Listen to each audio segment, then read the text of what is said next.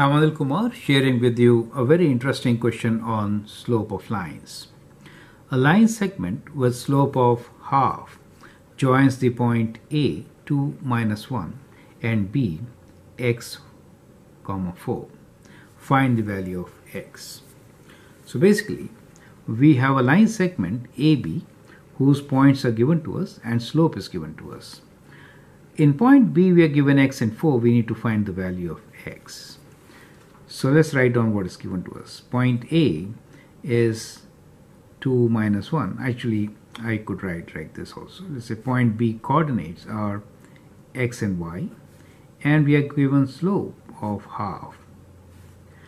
Now the relation between the two points and the slope is that slope is equals to difference of y values divided by difference of x values. So this ratio is actually rise over run and it is slope. So we can use this relation to find the value of x. So let's substitute the values. 4 minus, so slope is half. We'll write half for slope equals to 4 minus minus 1. 4 minus minus 1. That is the difference in y values. Difference in x values is x minus 2 which could be written as 4 plus 1, right? 4 plus 1 over x minus 2. Now we'll cross multiply to solve for x. Uh, well, 4 plus 1 is 5, so let me rewrite this as 5 over x minus 2.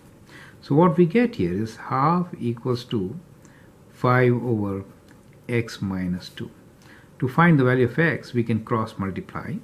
So it is 1 time x minus 2 equals to 5 times 2 or x minus 2 equals to 10 x is equals to 10 plus 2 which is 12 right? So we get the value of x in this fashion. So we have the coordinate points for b should be 12 and 4 right? So our answer is x is equals to 12 right?